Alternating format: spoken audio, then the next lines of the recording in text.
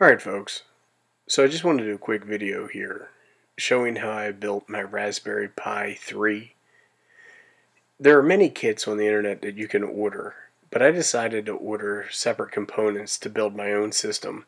I saved a few bucks that way and I was able to pick the parts that I wanted to use. Let's start by unboxing the components. First is the Raspberry Pi 3 motherboard. It has a lot of components that are included with this product, and we'll cover those a little bit later. Second, we're going to take a look at the Samsung 32 gigabyte SD card that I used to host the operating system and act as a hard drive for the computer. One of the reasons I chose to buy the components separately was so I could get an SD card that I liked and had better performance than some of the ones offered in kits. I will link a video below that shows how I prepared the SD card with the Noobs operating and installation package. I bought a CanaKit power supply because it's capable of delivering 2.5 amps of current, which is appropriate for the Raspberry Pi 3. For this build, I also picked up a KuGI protective case for the Raspberry Pi.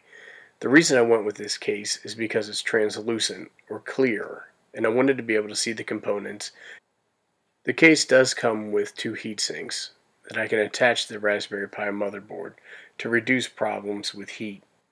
The Raspberry Pi motherboard drops right into the case, and then I will use four screws to mount it permanently in the case.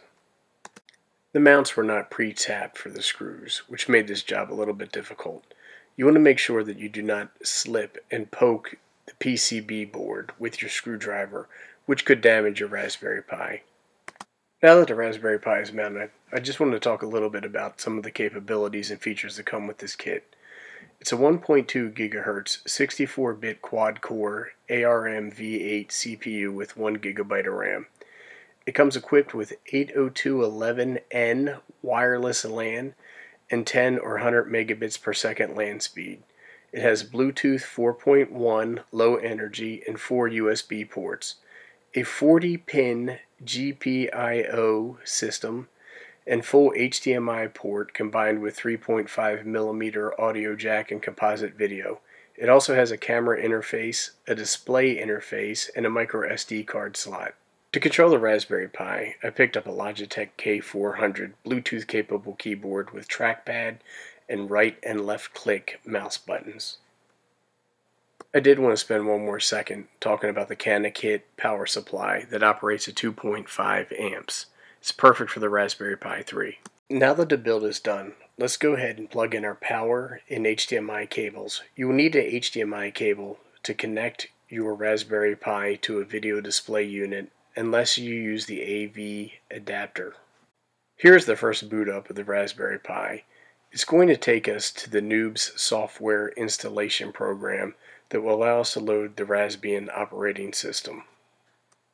I am using the Noobs software program to install the Raspbian OS to my Raspberry Pi. I will include a link below that shows how I built the SD card to do this. Once the program loads, I choose the Raspbian operating system. It takes a while to load, so we'll come back once it's done. Once the installation is complete, we'll be prompted with a reboot option. We'll go ahead and click that and it'll start the Raspbian OS system on a Raspberry Pi.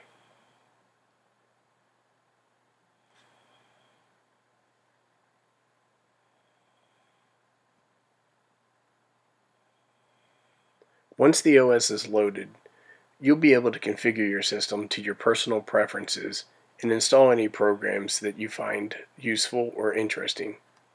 If you like this video, or if you want to see any more content of a similar nature, go ahead and click like or subscribe. Thanks for watching. I really do appreciate it.